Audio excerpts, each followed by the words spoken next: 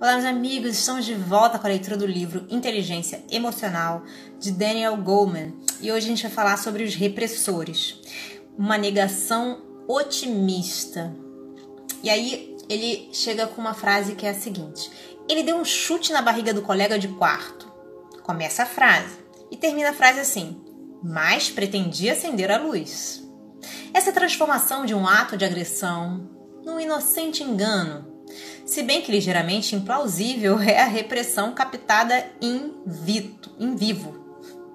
Essa frase foi composta por um universitário que se ofereceu como voluntário para um estudo sobre repressores, pessoas que habitual e automaticamente parecem apagar da mente a perturbação emocional. O fragmento inicial da frase, ele deu um chute na barriga do colega de quarto, foi dado ao estudante como parte de um teste. Outros testes mostraram que esse pequeno ato de fuga mental fazia parte de um padrão maior em sua vida, um padrão de desligamento da maioria das perturbações emocionais. Embora a princípio os pesquisadores vissem os repressores como um exemplo primordial de incapacidade de, sentir emoção, primos dos alexitímicos, talvez. O pensamento atual é que esse tipo de pessoa é bastante competente na regulação da emoção. Tornaram-se tão capazes de proteger-se contra sentimentos negativos, parece, que nem mesmo consciência tem da negatividade. Em vez de chamá-los de repressores, como ocorre entre os pesquisadores, o termo mais adequado seria imperturbáveis. Grande parte dessa pesquisa, feita principalmente por Daniel Weinberger, psicólogo que atualmente trabalha na Case Western University, mostra que, embora essas pessoas pareçam calmas e imperturbáveis, às vezes fervilham de perturbações fisiológicas que ignoram. No teste de complementação de frases, o nível de estimulação fisiológica desses voluntários também estava sendo monitorado. O verniz de calma que os revestia era negado pela agitação de seus corpos. Quando, diante da frase sobre o companheiro de quarto violento e outras idênticas, emitiam todos os sinais de ansiedade, como taquicardia, sudorese elevação da pressão sanguínea. Contudo, quando questionados, declararam-se perfeitamente calmos.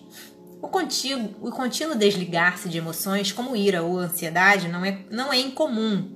Cerca de uma pessoa em seis apresenta esse tipo de comportamento, segundo Weinberger. Teoricamente, as crianças aprendem a ser imperturbáveis de várias maneiras. Uma delas é uma estratégia para sobreviver a uma situação incômoda, como ter um dos pais alcoólatras numa família onde se nega o problema. Outra é ter um pai ou mãe que são eles mesmos repressores e que por isso passam um modelo de perene animação ou resolução diante de sentimentos aflitivos. Ou a característica pode ser simplesmente um temperamento herdado. Embora não se possa dizer ainda como esse padrão começa na vida, quando os repressores atingem a idade adulta, são calmos e firmes, sob pressão. Permanece a questão claro, de saber até onde eles são de fato calmos e controlados. Podem realmente não ter consciência dos sinais físicos de emoções aflitivas ou simplesmente fingem calma. A resposta a isso veio de um inteligente, uma inteligente pesquisa de Richard Davidson, psicólogo da Universidade de Wisconsin e colaborador inicial de Weinberger. Ele pediu que respostas de comportamento imperturbável fizessem uma livre que pessoas de comportamento imperturbável fizessem uma livre associação de determinadas palavras, a maioria das quais era neutra e várias continham significados hostis ou sexuais, que normalmente causam ansiedade nas pessoas. E como revelam, revelaram as reações físicas dos voluntários, todos tiveram reações de ansiedade às palavras pesadas, embora as palavras que os voluntários associavam às pesadas quase sempre indicassem uma tentativa de equilíbrio. Se a primeira palavra era ódio, a associação seria amor. O estudo de Davidson valeu-se do fato de que, em pessoas destras, um dos principais centros para processar a emoção negativa é a metade direita do cérebro, enquanto o centro da fala fica na esquerda. Assim que o hemisfério direito reconhece que uma palavra é perturbadora, transmite essa informação pelo corpus caloso, a grande divisão entre as metades do cérebro, para o centro da fala, e a palavra é dita em resposta.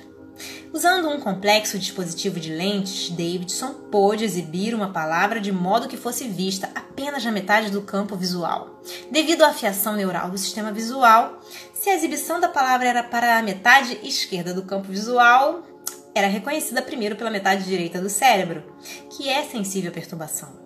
Se era para a metade direita, o sinal ia para o lado esquerdo do cérebro sem ser avaliada quanto à sua perturbação. Quando as palavras eram apresentadas ao hemisfério, direito, os imperturbáveis demoravam a dar uma resposta, mas apenas se a palavra a que reagiam era uma das perturbadoras. Não havia atraso na velocidade com que associavam palavras neutras. O, ocorri, o atraso ocorria apenas quando as palavras eram apresentadas ao hemisfério direito, não ao esquerdo. Em suma, a imperturbabilidade deles parece dever-se a um mecanismo neural que torna mais lenta ou interfere na transferência da informação perturbadora. O fato é que eles não estão fingindo que não têm consciência de que estão se sentindo perturbados. O cérebro nega-lhes essa informação. Mais precisamente, a suave camada de sentimento que recobre essas percepções perturbadoras talvez possa ser atribuída à atuação do lobo pré-frontal.